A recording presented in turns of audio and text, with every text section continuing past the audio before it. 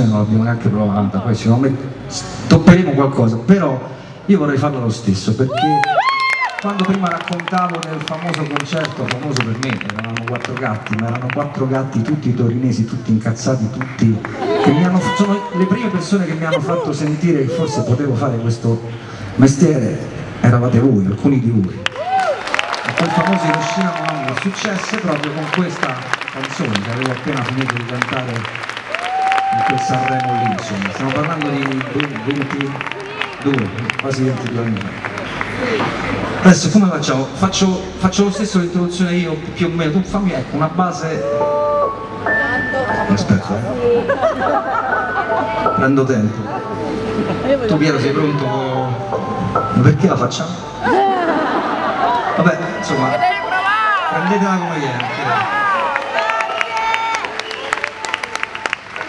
C'era un re che disse alla sua serva, raccontami una favola, e la serva incominciò e disse, c'era una volta un re che disse alla sua serva, raccontami una favola, e la serva incominciò.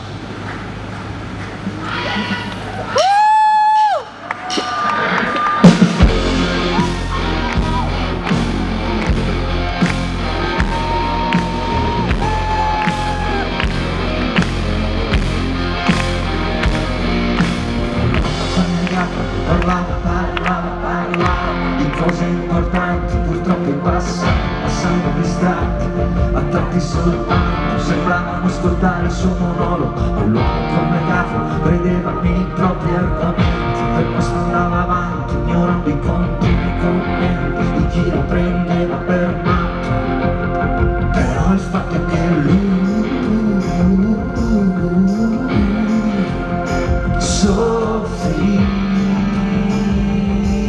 soffriva lui soffriva.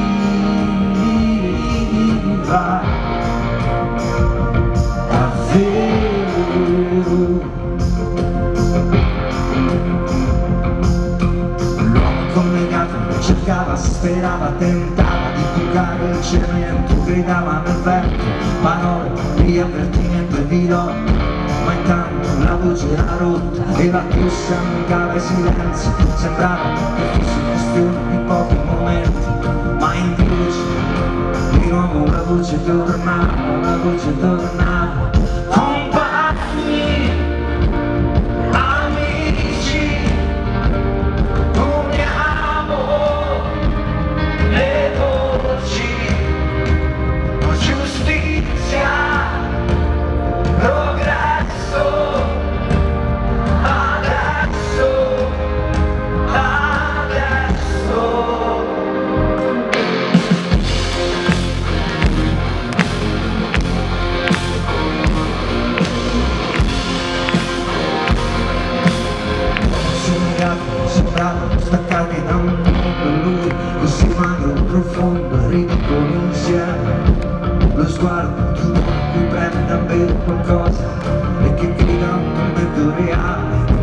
esaurimento privato umano ma proprio per lo dell'amore che tanto colore calore